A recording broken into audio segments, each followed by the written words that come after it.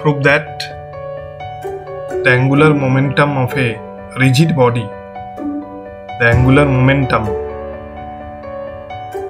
of a rigid body, prove that the angular momentum of a rigid body rotating about an axis of rotation about an axis of rotation with an angular velocity omega is the product of is the product of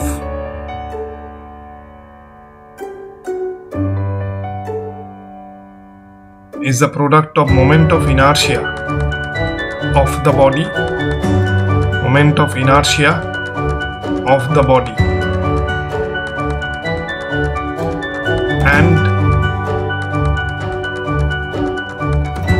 its angular velocity and its angular velocity. In the diagram, this is a rigid body and AB is the axis of rotation. This is the axis of rotation about which the body rotates. AB is the axis of rotation and this rigid body this rigid body rotates with an angular velocity omega about the axis of rotation AB. Omega is the angular velocity of the rigid body.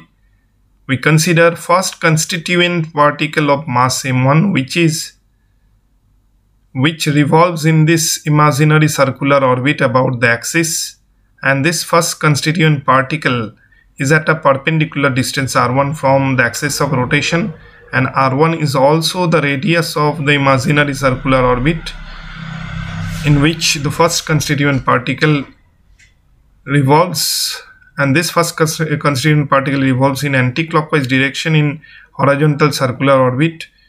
V1 is the linear velocity and p1 is the linear momentum of the first constituent particle. Omega is the angular velocity which acts vertically upwards L1 is the angular momentum of the first constituent particle. This is the imaginary circular orbit in which the second constituent particle of mass m2 revolves and r2 is the radius of this circular orbit. This second constituent particle has the linear velocity, a linear momentum p2 and linear velocity v2 which act inwards V2 and P2 act inwards provided uh, the constituent particle revolves in horizontal circular orbit anticlockwise and uh, omega is the angular velocity. In this case, all the constituent particles will have the same angular velocity omega. L2 is the angular momentum and this is nth particle of mass mn and Rn is the radius of Rn is the radius of this imaginary circular orbit in this horizontal circular orbit, nth constituent particle revolves in anticlockwise direction. An nth particle will have the linear velocity vn in inward direction. And pn is the linear momentum of this constituent particle. And this constituent particle will have the same uh, same angular velocity omega. And angular momentum is ln which acts vertically upwards Capital M is the mass of the rigid body which is equal to m1 plus m2 plus dot dot dot dot plus mn. When a rigid body when a rigid body of mass capital M rotates when a rigid body of mass capital M rotates about an axis of rotation AB about an axis of rotation AB with an angular velocity omega about an axis of rotation AB with an angular velocity omega.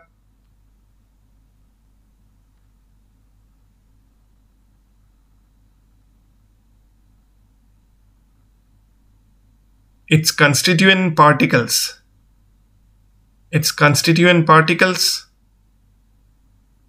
of masses m1 comma m2 comma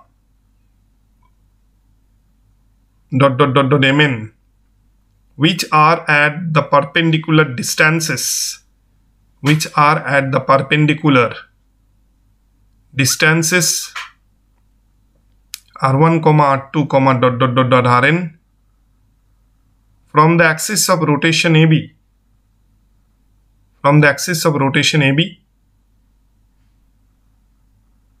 will have the same angular velocity or will rotate will revolve. It should be will revolve. That means the constituent particles will revolve. The body rotates but the constituent particles uh, will revolve with the same angular velocity omega as that of the rigid body. Will revolve the same with the same angular velocity omega about the same uh, axis of rotation the angular momentum the angular momentum of the rigid body the angular momentum of the rigid body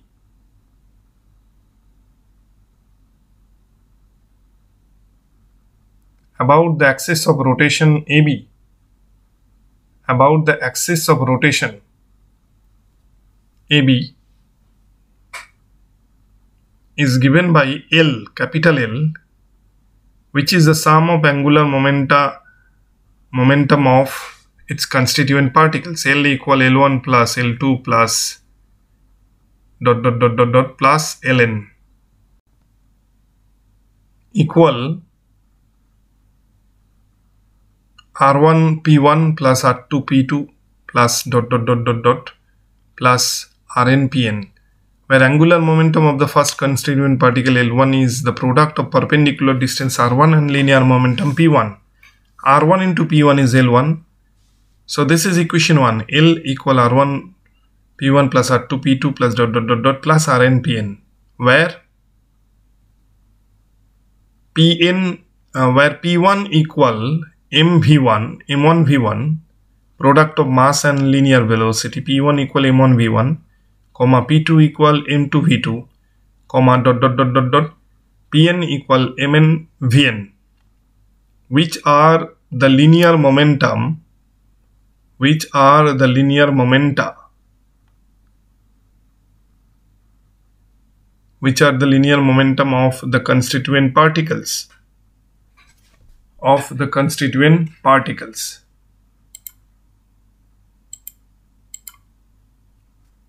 therefore L equal R1 M1 V1 plus R2 M2 V2 plus dot dot dot dot Rn Mn Vn.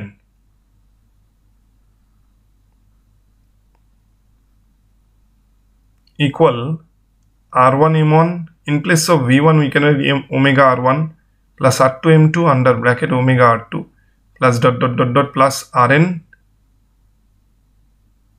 mn under bracket omega rn equal omega is taken common omega bracket open m1 r1 square plus m2 r2 square plus dot dot dot dot plus mn rn square Therefore, L equal omega i or i omega. That means angular momentum L is the product of moment of inertia i and angular velocity omega. L equal i omega.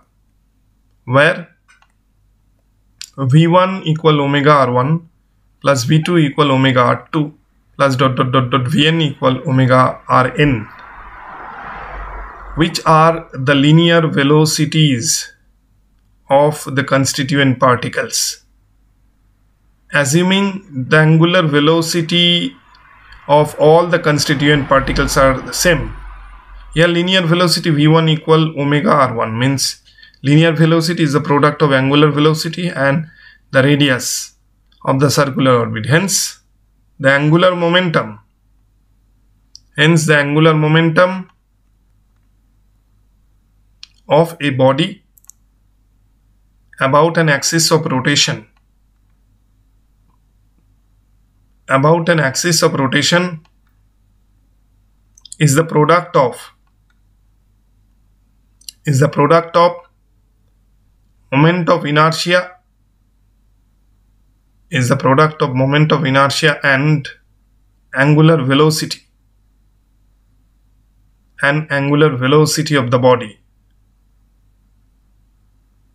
about the axis of rotation or about the given axis. Hence, proved that is L equal I omega. Proved L equal I omega means angular momentum is the product of moment of inertia I and angular velocity omega. Vector expression of angular momentum is vector L equal I vector omega where omega vector omega omega is angular velocity which is a vector quantity and moment of inertia I is a tensor. It is neither a vector nor a scalar quantity. Moment of inertia I is a tensor quantity. Another additional information is what if omega equal 1 means angular velocity is unit or unity then L equal I omega equal I into 1. Therefore I equal L means moment of inertia I will be equal to angular momentum L. Hence